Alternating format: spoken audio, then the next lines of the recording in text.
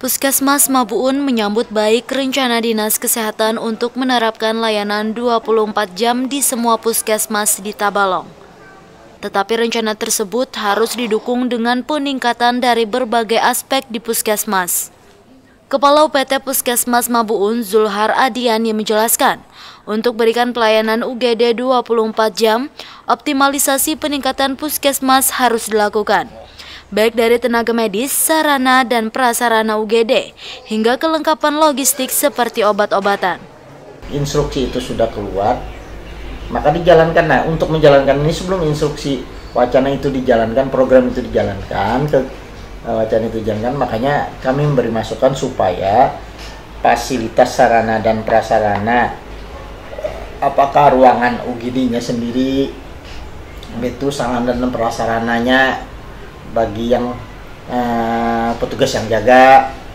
Uh, mungkin harus ada tempat tidurnya kan?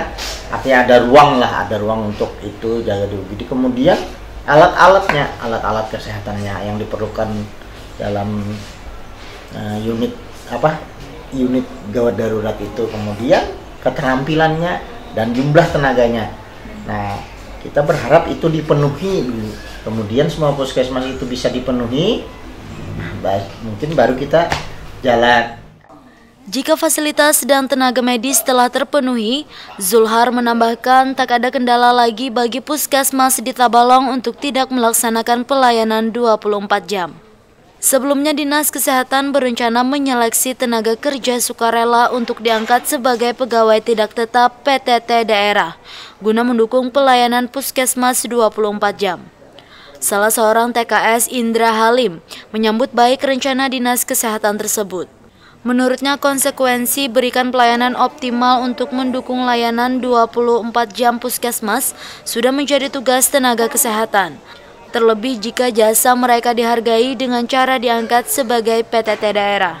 Jadi PTT daerah atau kontrak eh, artinya para TKS ini dianggap bahwa memang ada dan dibutuhkan untuk di daerah. Selama ini tenaga kerja sukarela TKS di sejumlah puskesmas diberikan insentif dengan nominal yang tidak menentu, yang disesuaikan dengan keuangan puskesmas. Sebagai imbalannya, mereka diberikan surat keterangan sebagai tanda bukti pernah menjadi tenaga sukarela yang bisa dimanfaatkan sebagai pengalaman profesi. Purnama Sari, TV Tabalong melaporkan.